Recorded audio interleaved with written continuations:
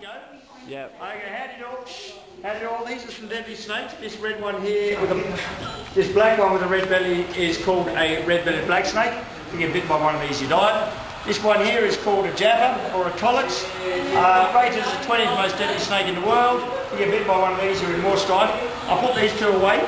And now I'm going to just quickly show you the five deadliest snakes in the world. The question is why aren't the snakes biting? Snakes normally bite when you inflict pain on them. If I don't have a rubber snake, but if you belt them on the head with a metal stick or you pick them up by the tail and shake them, they will try to bite. But if you're nice to the snakes, they won't. The fifth most deadly snake in the world is this one, the death adder. This is called an Acanthophis woolfi. It's a species I discovered back in 1998, or that's when the published paper came out. And basically, without antivenom, you get bitten by a death adder, you die. It's that simple. The fourth most deadly snake in the world, tiger snake. I've got a couple here. We have one here, and we have another one here. These are a girl, she's an adult. A boy, it's an adult. And as you can see, uh, the girl is a lot smaller than the boy. That's normal. The snakes around your neck, people, are the non-venomous ones, called python. The third most deadly snake in the world is the brown snake. That's this one here. And this one here is a copperhead. Just so you know, these snakes don't bite because they're pets. I couldn't even get in the bite if I wanted to. Look, see? Won't open the mouth. Some people say we super glue their mouths shut, but we don't. It's just we're not inflicting pain on them, they don't want us to bite.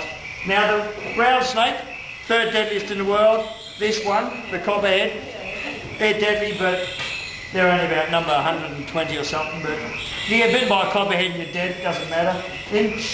Now the world's deadliest snake, taipan, there's two types. This one here with the white face is called the coastal taipan, and these ones here are called inland taipans, and these are the world's deadliest snake. Not interested in biting me at all. However, what I'm going to do, no one's ever survived a bite from an inland taipan without anti-venom. So what I'm going to do is in a world first, I won't just get bitten by one of them, I'll get bitten by them both. Now, normally if you're bitten by an inland taipan, you're dead in about two minutes. So there you go. Now, don't really enjoy this, but watch this. Ready?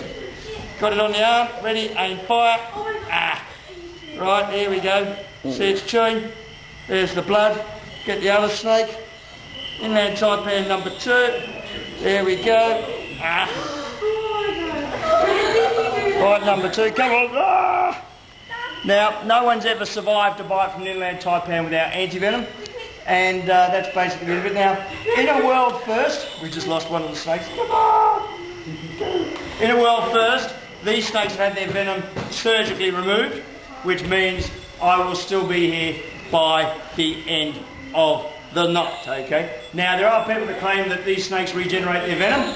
Both of these have been devenomised for several years. Thank you very much and have a nice and wonderful day.